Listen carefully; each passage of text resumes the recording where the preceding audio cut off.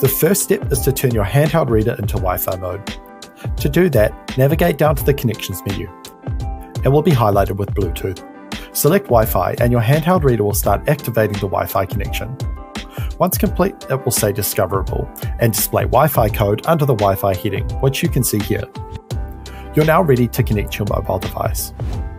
Now that the handheld EID reader is on Wi Fi mode, you can connect the phone to the reader by opening up Settings, selecting Wi Fi, and then choosing the handheld reader from the list of available devices.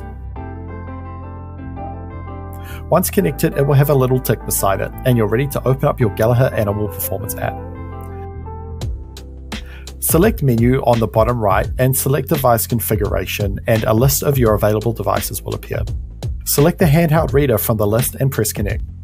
Once it's connected, you'll have a number of options. Firstly, for this example, we'll show you how to transfer data from your EID reader to your phone. So select Transfer to Phone. The app will run a quick check to see what sessions are available to move. Once complete, select the session or sessions that you want to transfer to your phone. Then press the download icon to the bottom right of the screen. The app will then process the transfer.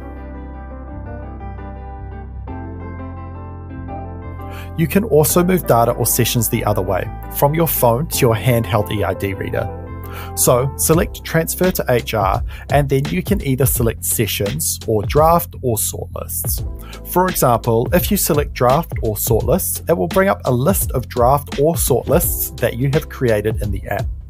Select the draft or sort list that you want to transfer and press the upload icon on the bottom right of the screen.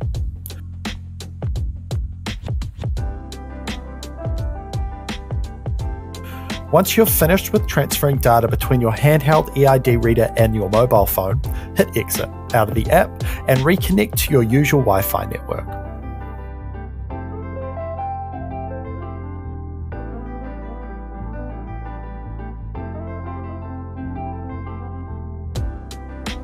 You can then navigate back to your Animal Performance app there, you're able to sync the app with your Animal Performance Cloud account to make sure that your data is available on all of your connected devices.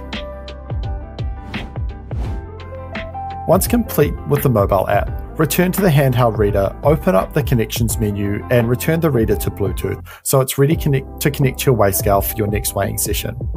Remember to also set your phone back to your preferred Wi Fi connection, such as mobile data or home Wi Fi.